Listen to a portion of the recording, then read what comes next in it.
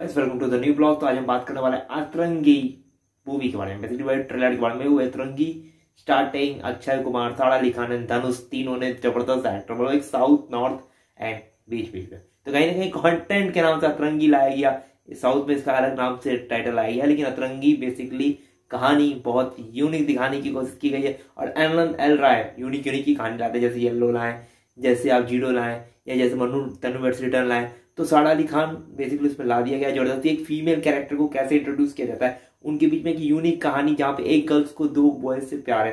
तो unique trailer से ज़्यादा कुछ आप एक्सपेक्ट नहीं कीजिएगा, लेकिन ये मूवी उससे ज़्यादा एक्सपेक्ट कराएगी आपको। एक ब्यूटीफुल मूवी और उससे पहले आपको बता दें कि मेरे एक पहला वीडियो हंड्रेड के अचीव करने वाला तो भाई, इसको अगर आपने नहीं देखा अभी तो जाके देख लो। एंजॉय करो।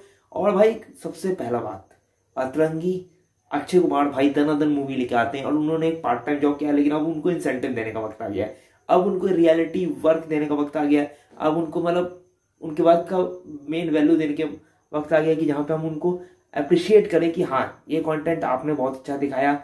आनंद, एल राय की मूवी थी, उन्होंने भी अच्छा दिखाया, लेकिन सबसे बड़ा प्लस पॉइंट है इसमें म्यूज़िक जो दिया है ए आर रहमान में। और ए आर रहमान आप रोबोट देख लीजिए, आप छैया छैया देख लीजिए या भैया मैया देख लीजिए, वहाँ से इन्होंने कॉन्सेप्ट लाया और Disney plus Hotstar mini plex पे जाने वाला भाई। ये ओटीटी सब्सक्रिप्शन के लिए बेहतरीन सा फंडा है, जिसको मार के इसने डंडा है। आप देख लो, इसको अच्छा है और मेरे वीडियोस को लाइक कर देना, उससे बच्चा है। तो कहीं ना कहीं जब इसकी कंटेंट देखते हैं हम, इसको इम्प्रोवाइज करते हैं तो लगता है कि हाँ इंडियन सिनेमा में भी अच्छे अच्छे कंटेंट है और अवेलेबल है अच्छे अच्छे कंटेंट तो कहीं ना कहीं आप इस कंटेंट को कनेक्ट कर पाएँगे।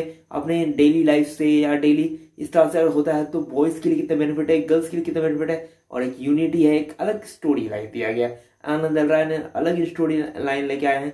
हो सके वो कलंक ही हो जाए या हो सके कि कुछ भी हो जाए। तो कहीं ना कहीं आप कंटेंट से कितने अच्छे हैं इस कमेंट करके जो बताएगा वीडियो वीडियो को लाइक कीजिएगा शेयर कीजिएगा, ढेर सारे कंटेंट के लिए हमारे ब्लॉग को सब्सक्राइब कीजिएगा।